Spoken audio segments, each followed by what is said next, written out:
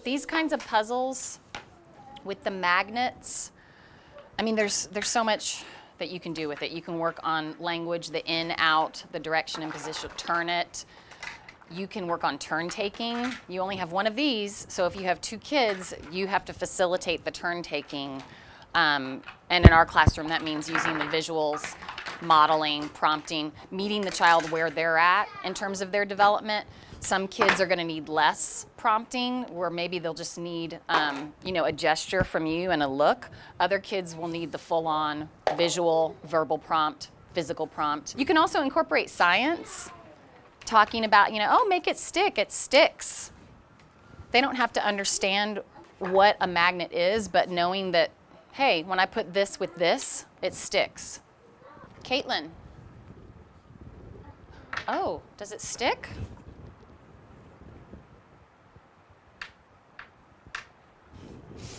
No. Say no. No stick. Try this one. Does it stick? yes.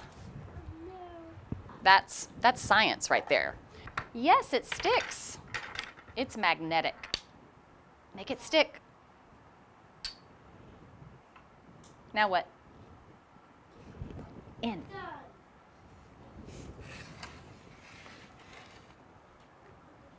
In. So really colors, direction, position, uh, counting, turn taking, those are all skills, science that can be incorporated into just one puzzle.